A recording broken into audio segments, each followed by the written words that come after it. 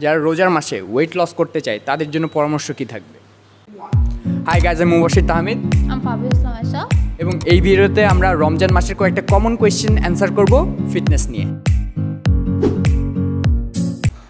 পাবিয়া যারা রোজার মাসে ওয়েট লস করতে চায় তাদের জন্য পরামর্শ কি থাকবে?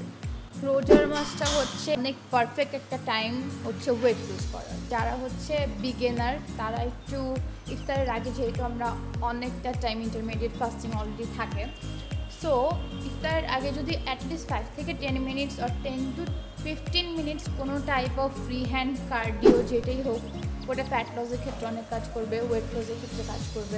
ইফতারের একটু রেস্টেস নেওয়ার পর তারপর they can do the regular workout আর ডায়েটের ক্ষেত্রে কি বলবা? অনেক ভাজা পোড়া খায় শরবত খায় এইসবের দিক থেকে কি বলবা? No sugar intake natural sugar যেগুলো খেজুর থেকে আমরা পাই Fruits থেকে হ্যাঁ ফ্রুটস বা খেজুরটাও ওটা আমাদের এনার্জি থেকেও একটা কাজ করে।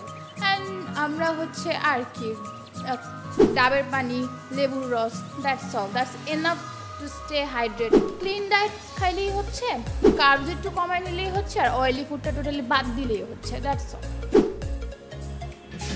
সো আমরা আর আমাদের দিনে কখন ওয়ার্কআউট করলে বেটার ওয়ার্কআউটের ক্ষেত্রে যেটা হয়, যেটা ওয়েট লিফটিং আমরা বলি হ্যাঁ তো আমার সাজেশন হচ্ছে, আপনারা ফাস্টেড ওয়ার্কআউট করবেন না ওয়েট লিফটিং তাহলে মাসল ড্যামেজ হওয়ার চান্স আছে যে ইউ মাইট লুজ মাসল আর কিন্তু ফাস্টেড কার্ডিও করতে পারেন, কারণ ফ্যাট ঝরবে। আপনারা ইফতারের পরে করতে পারেন কিন্তু একটা কোয়েশ্চেন এসে যায় যে তারাবি যারা পড়ে তারা কি করবে? তারা তারাবির পরে করতে পারে ডিনারের আগে অথবা ডিনারের এক ঘণ্টা পরে করে ঘুমায় যেতে পারে। আবার অনেকে করে যে সেহেরিরও আগে কিন্তু করে। আগে এবং পরে মিল এটা কিন্তু এনশিওর হচ্ছে কারণ ডিনারে আপনি খাইছিলেন আবার সেহেরিতে আবার খাবেন তার মাঝখানে একটা ওয়ার্কআউট করতেছে সো এটা এটা আপ টু ইউ আর যারা হচ্ছে একটু গেইন করতে চায় তাদের জন্য কি সাজেশন রামাদান মাসে আসলে গেইন করার এত স্কোপ থাকে না। তো আমরা যেটা ট্রাই করব যে যেই ফিটনেসটা আছে যেই মাসলটা ক্যারি করতেছি ওইটাই আর কি আমরা মেনটেন করার চেষ্টা করব। দেখেন আপনি সারাদিন না খেয়ে আসেন এমনি উইক থাকবেন। তো ট্রেনিংয়ের ক্ষেত্রে কিন্তু আপনি এত ইনপুট দিতে পারবেন না যে আউটপুট আবার পাবেন। হ্যাঁ? তো এই জন্য আমাদের ট্রেনিংয়ের ক্ষেত্রেও কম ইন্টেন্সিটিতে ওয়ার্কআউট করব সেট কমাই দিব রেট কমাই দিব একটা ব্যাপার আছে। ওয়েট কমাই দিব হ্যাঁ হাইড্রেশনেরও একটা ব্যাপার আছে কম পানি খাচ্ছেন।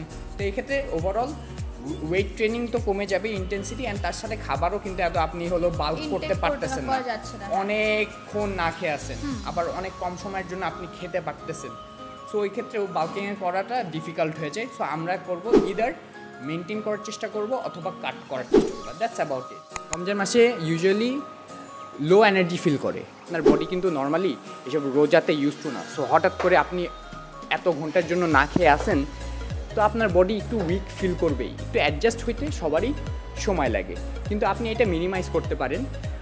ভালো ব্যালেন্স ডায়েট মেনটেন করে যাতে আপনার ইনাফ এনার্জি পান সারাদিনে এবং to have uh, enough water or coconut water or যেটাতে আপনার কিছু fibre like apple or kind thing and যারা আমরা ফিটনেসের একটু থাকি তারা বেশি ডাবলে খেতে পারি। দ্যাটস ইট তো বেসিক্যালি একটা ব্যালেন্স ডায়েট মেনটেন করবেন এবং ইনাফ পানি খাবেন যাতে বডি ডিহাইড্রেটেড না হয়ে যায় এবং তার সাথে কিছু কোনো মাপের ফিজিক্যাল অ্যাক্টিভিটি করার চেষ্টা করবেন। জিমে যাইতে হবে এমন না, আপনি দৌড়াইতে পারেন অর লাইক কোনো স্পোর্টস খেলতে পারেন যে কোনো কিছু যেটা আপনাকে অ্যাক্টিভ রাখে যাতে আপনার বডি বসে না যায়। কারণ আপনি অলস একটা মানুষ হতে চান না। তো এরকম করলেই আপনার অ্যাটলিস্ট বডি একটু রিকভার করবে যাতে আপনার রমাদান মাসেও এনার্জি থাকে। ওকে গায়ে সো আমরা রমজানের জন্য যেই টিপস অ্যান্ড ট্রিক্সগুলো শেয়ার করলাম আপনাদের সাথে আশা করি এগুলো আপনাদের ভালো লাগবে কাজে লাগবে আপনারা এগুলো ফলো করবেন। এবং ভিডিওটা শেয়ার করে দিবেন যাতে অন্যরাও জানতে পারে। অ্যান্ড আমাদেরকে ফলো করবেন আমাদের ফেসবুক পেজ ইনস্টাগ্রাম পেজ সবগুলোতে ফলো করলে আপনারা কিছু না কিছু পেয়ে যাবেন যেটা আপনাদেরকে হেল্প করবে.